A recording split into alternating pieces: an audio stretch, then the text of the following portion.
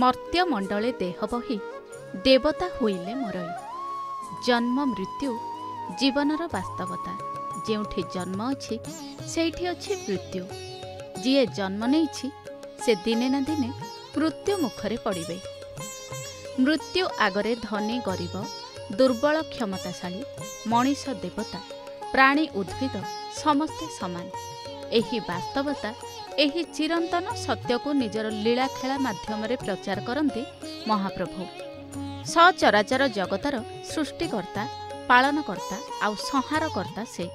ସବୁକିଛି ରହିଛି ତାଙ୍କରି ନିୟନ୍ତ୍ରଣରେ।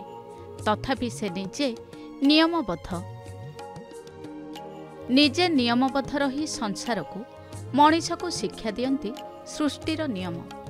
ଧରା ପୃଷ୍ଠରେ ଜନ୍ମ ନେଇଥିବାରୁ ଜନ୍ମ ମୃତ୍ୟୁ ଚକ୍ରରେ ପଡ଼ନ୍ତି। ନିର୍ଦ୍ଦିଷ୍ଟ ବର୍ଷ ଅନ୍ତରରେ ତାଙ୍କର ମୃତ୍ୟୁ ହୁଏ।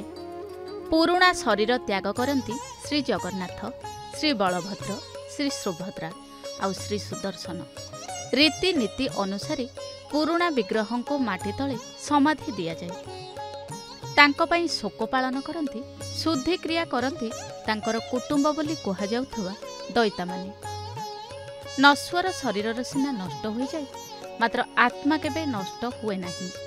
ଆତ୍ମାର ପୁନର୍ଜନ୍ମ ଘଟେ। ଯେମିତି ଭଗବତ ଗୀତାରେ କୁହାଯାଇଛି ବାଂଶାସୀ ଜୀର୍ଣ୍ଣାନି ଯଥା ବିହାୟ ନବାନି ଗୃହଣାତି ନରୋପରାଣୀ ତଥା ଶରୀରାଣୀ ବିହାୟ ଜୀର୍ଣ୍ଣା ନ୍ୟନାନି ସଞ୍ଜାତି ନବାନି ଦେହି। ଶରୀର ପୁରୁଣା ବସ୍ତ୍ର ତ୍ୟାଗ କରି ନୂଆ ବସ୍ତ୍ର ଧାରଣ କରିବା ପରି ଆତ୍ମା ମଧ୍ୟ ପୁରୁଣା ଶରୀର ତ୍ୟାଗ କରି ନୂଆ ଶରୀର ଗ୍ରହଣ କରିଥାଏ। ଠିକ୍ ସେହିପରି ଘଟିଥାଏ ମହାପ୍ରଭୁଙ୍କ ପ୍ରତି। ସମସ୍ତଙ୍କର ନବକଳେବର ହୁଏ ବା ନୂଆ ଶରୀର ଧାରଣ କରନ୍ତି ଶ୍ରୀ ବିଗ୍ରହମାନେ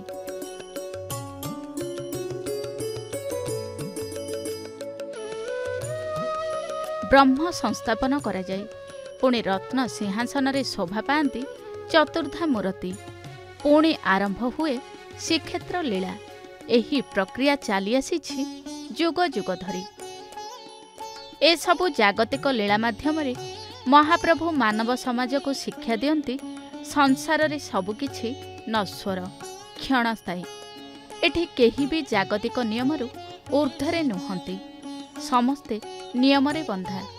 ତେଣୁ ଧନଜନ କ୍ଷମତା ରୂପର ଅହଂ ଛାଡ଼ି ମଣିଷ ନଶ୍ୱର ଜୀବନକୁ ବୁଝିବା ଉଚିତ।